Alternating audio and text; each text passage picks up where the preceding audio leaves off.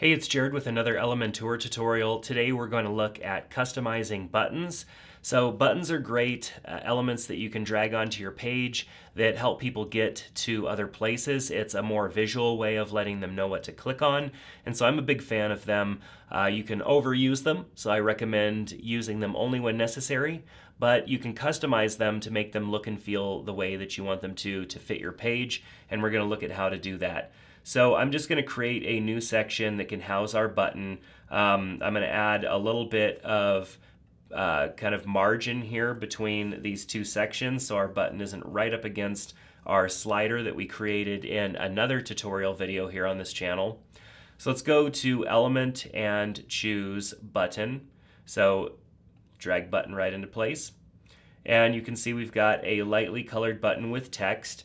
By default, if you adjust your site, your global site settings, you can set the colors that this button is going to be when you drop it into place.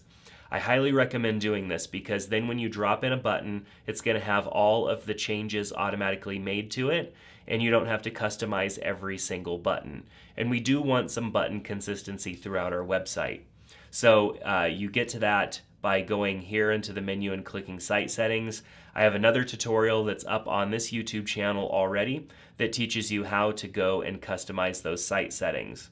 So we have different button types, default, info, success, warning, danger, and uh, really these don't change anything as far as the design goes.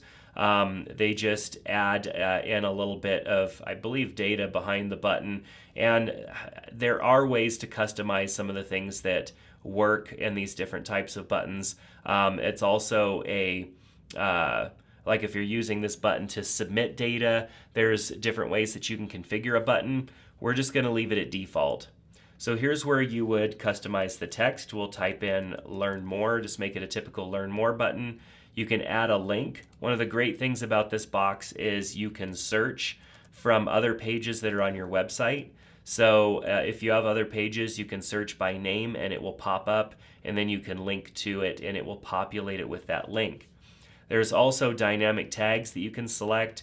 Uh, for example, if you want to link to any of these things like your site URL, which would take people back to the home page, an internal URL, some sort of a short code, which would then trigger maybe something like a pop-up from another plugin that you're using. So there's different ways that you can configure that but I'm just going to make it link to the, the page that we have just for the purposes of this uh, tutorial. We can then align our button. Center might look good if it's going to be in its own section like this. We could change the button size, so maybe make it a little bit bigger. Adding an icon definitely draws more attention to a button. So if you have an SVG image, which is typically like an icon type uh, design file, you can upload that here or you can choose from the massive library uh, already. And so maybe I would go with something like a, an arrow that's pointing towards the text like that. And then I can choose whether it's positioned before or after. And I can also adjust the spacing if I don't like the amount of spacing that's there if, it, if it's too close to the text. So I might go with like six and that's pretty close to what the default was anyways so under style here's where we can change the uh, the colors and the behavior of the button so we could change the typography if we want to change the font we could do that we could change the font size make it more bold we can transform, make it like uppercase to make it stand out a little bit more. We could change things like letter spacing, stuff like that, all right here.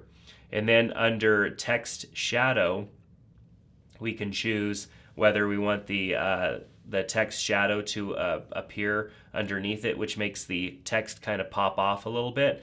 Um, by default, it has just a little bit of a blur, but if we want to make it stand out a little bit more, we can add a little bit of kind of horizontal and vertical, which is going to shift it over and down a little bit and kind of make some adjustments there. And you can see it kind of moving around in the background as I make drastic changes to, uh, to that drop shadow.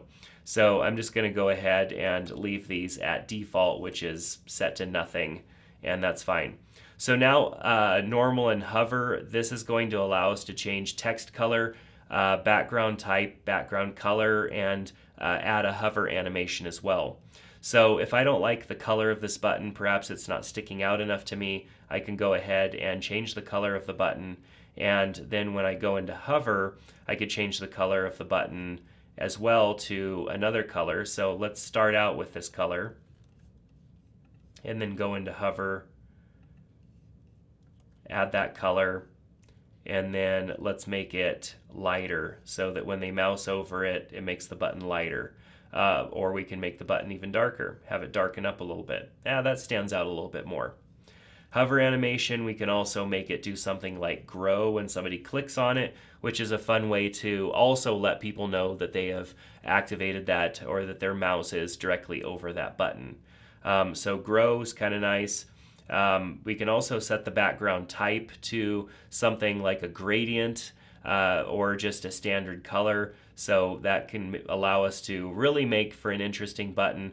But for the purposes of this tutorial, we're just going to leave it as a standard color. So we could also adjust the border radius here. If the border doesn't have enough curved radius around it, you can change that from the default. And then of course we can also add overall shadowing to the button to make the button stick out a little bit more and stand off the page a little bit more as you can see it's doing. If we have just the default 10 pixel blur, it's going to put that drop shadow all the way around the button. But of course we can customize the direction of the shadow and make it a little bit more of a directional light shadow, which I like rather than just having a blur shadow all the way around the outside. So I'm just going to go ahead and turn that off. I don't want any shadow at all. And that is how we customize a button. So now we have a button that totally is operational. It stands out. We changed the color, we customized it completely, and we're ready to go. If we go ahead and update our page and then go to our actual page here that's in another tab, we see our button and we can see how it reacts and it looks pretty good. One thing you definitely want to check out with buttons is how they're going to look in responsive mode. So go down to mobile and just make sure that your button isn't doing something weird like coming off the page or whatnot. So if your button on a mobile device or in this mobile preview is looking a little too large, we may want to customize the size or maybe just decide instead of a medium button, we want to go with a smaller button. Um, and then of course we can come in and make some changes to things like typography that are just going to be specific to mobile. But as far as the button size goes, we're pretty much locked in. So you want to choose a button size that's going to look good across all screen sizes. So after we're done, just make sure always that you hit that update button down there so that you save your changes. You can always go to the history and go back and undo if you uh, decided you didn't like the change that you just made. So that's always possible. But that's going to do it for this tutorial on how to customize buttons. If you enjoyed it, give the video a thumbs up please and click that subscribe button so you can be notified when we put out more videos. We also have that free Elementor course that I talked about at the beginning. You can get free access to it from my website or you can also go and sign up for a free Skillshare uh, account, getting a trial there and utilizing that to get access to the course as well. But that's going to do it for this video. Thanks so much for checking it out and I hope to see you back here soon in another video. Take care.